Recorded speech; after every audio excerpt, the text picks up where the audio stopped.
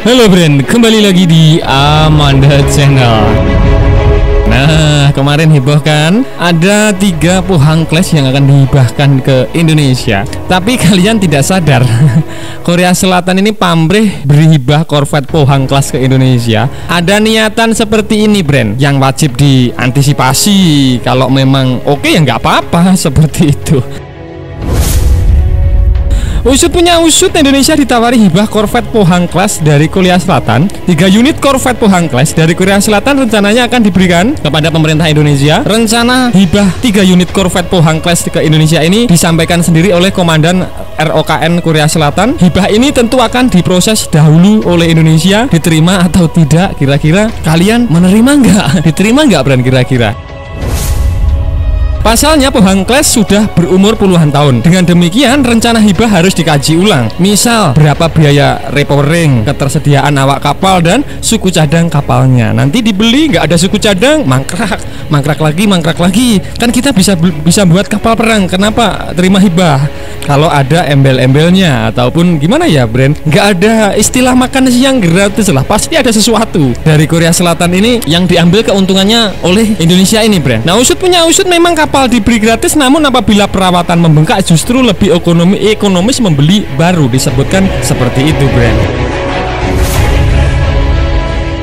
Nah, dikutip dari Naval Teknologi, Pohang sendiri bukan Corvette yang kaleng-kaleng. Kalau senjatanya, persenjataan Pohang begitu mengerikan. Ia dilengkapi dua meriam Otomelara 76 mm di dek depannya. Kemudian untuk menangkis serangan udara ada Mistral serta dua CIWS Breda Dardo. Ada rudal anti kapal. Pohang juga sama berbahayanya, yakni ada MM38 Exocet, ada ada RGM 84 Ciherpen dan rudal buatan lokal SSM 700K. Nah, yang menjadi pertimbangan itu ini seperti ini, Brand. Usut punya usut ada udang di balik batu dalam rencana hibah ini, yakni Korea Selatan pamrih berharap hibah Pohang Clash akan membuka jalan bagi mereka untuk meneruskan proyek kapal selam Changbogo batch, ke, batch kedua untuk TNI Angkatan Laut, Brand. Nah, kira-kira kalian mau nggak jika diberikan Pohang Clash tapi Korea Selatan harus meneruskan proyek kapal selam Changbogo batch kedua ini? Kira-kira kalian mau atau tidak? Silahkan jerot bejerot di kolom komentar. Nah, tulis dari laporan naval, Seoul berharap Corvette berbakat itu atau Pohang akan membuka jalan bagi pengadaan kapal selam atau kapal permukaan tambahan oleh Indonesia. Nah, inilah yang Mimin sebut nggak ada makan makan siang gratis.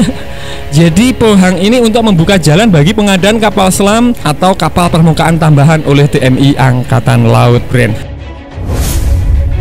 Padahal disebutkan Changbogo milik Indonesia itu katanya berisi gak efisien, kapal selamnya berisi gitu. Seperti diketahui bahwa TNI Angkatan Laut mengoperasikan tiga kapal selam Changbogo buatan DSME dengan alih teknologi ke PT PAL Surabaya. Namun nampaknya Indonesia enggan menambah lagi kapal selam tersebut dan memilih membeli jenis lainnya. Beberapa pihak mengharapkan kerjasama yang lebih besar antara Korea Selatan dan TNI Angkatan Laut akan membuka peluang bisnis baru pembuatan kapal Rock Daewoo Shipbuilding dan Marine Engineering dan mengirim teknisi minggu depan untuk melakukan pemeliharaan pada dua pertama dari tiga kapal selam Jangbogo seberat 1.400 ton yang dikirim ke Indonesia sebagai bagian dari kesepakatan senilai kurang lebih 1,07 miliar US dollar tulis dari Naval News Brand. Nah, Korea Selatan ingin membeli ingin Indonesia menerima Corvette Pohang Class sebagai pelicin agar kapal selam dagangannya laku kembali dibeli oleh Indonesia. Jadi seperti itu dikasih umpan dulu Corvette nih. Nanti beli lagi agar beli lagi Changbogo Glass batch kedua. Kira-kira ya seperti itulah brand permainan ataupun cara jitunya Korea Selatan mengambil hatinya Indonesia Nah sebelumnya dikutip oleh Naval juga tanggal 22 Januari rupanya menurut pengakuan situs berita kemaritiman Bapak KSA Laksamana TNI Yudo Margono lah yang meminta hibah tiga buah Corvette ke Korea Selatan pada kunjungan ke Seoul pada April tahun 2021 silam brand. Nah, disebutkan bahwasanya eh, Pohang ini dibuat Korea Selatan sebanyak 24 unit dan difungsikan untuk membendung pergerakan agresif Korea Utara di Laut Kuning dan usut punya usut Bapak Yudo Margono telah meminta transfer tiga Corvette selama kunjungan ke Republik Korea atau ROK pada bulan April tahun lalu. Jadi laporan dari Naval News ini benar. Nah, Bren, itu tadi pembahasan admin seputar usut punya usut nggak ada makan siang gratis ataupun ada udang di balik batu. Korea Selatan pamrih beri hibah Corvette Pohang Class agar bisa meneruskan proyek pembelian atau Indonesia bisa membeli lagi Changbugu Class Batch kedua, Bren. Nah, kira-kira kalian setuju atau tidak setuju, Bren?